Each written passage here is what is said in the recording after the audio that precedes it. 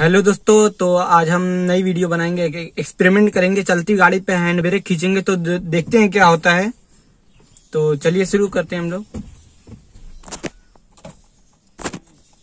तो दोस्तों, हम लोग कुछ स्पीड भगा के और हैंड ब्रेक खींचेंगे तो देखते हैं आज क्या होता है उसके तौर पे, कि गाड़ी में।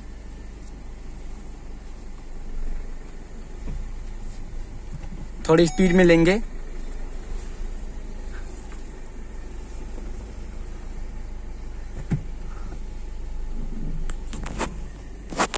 तो दोस्तों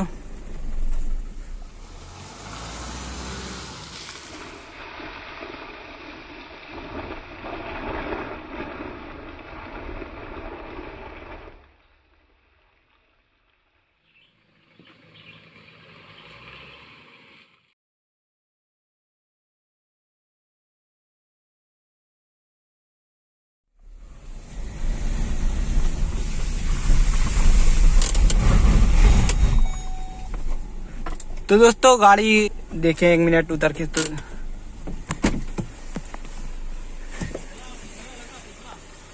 हाँ। तो दोस्तों, ये देखिए, टायर रुक गया था। और इंजन पे इससे लोड पड़ता है तो इससे कोई फ़ायदा नहीं है, जिसे हैंड ब्रेक खींचने से। हैंड ब्रेक से बस दोनों पीछे ही वाले टायर रुकते हैं। तो हाँ वो तो सबको पता है। तो इससे कोई फ़ायदा नहीं है। और गाड़ी को जैसे तो दोस्तों ये हैंड ब्रेक खींचने से कोई फ़ायदा नहीं है। बस इंजन पे लोड पड़ेगा और आपके टायर रुक जाएगा पीछे। और जैसे गाड़ी को जैसे सब लोग घुमाते हैं तो ये हम स्टेयरिंग घुमाते थे तो गाड़ी घूम जाती पीछे से टायर रुक के। तो यही फ़ायदा है।